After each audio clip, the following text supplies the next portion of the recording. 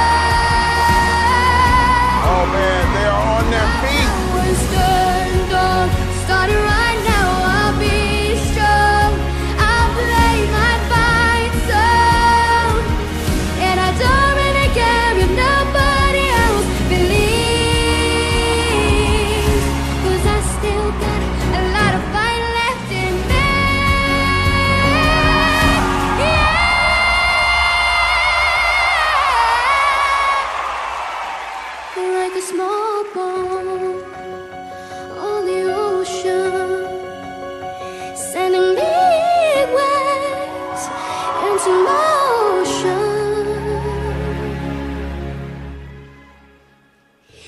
is my